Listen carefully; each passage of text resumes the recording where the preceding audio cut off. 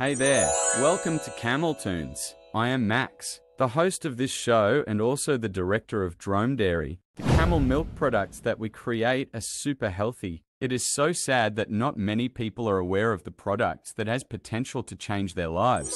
So our goal of this show is to educate the public about camel products. We will be discussing about all the skincare products, hair products, doggy products and more. Follow DromeDairy and stay tuned for new episodes.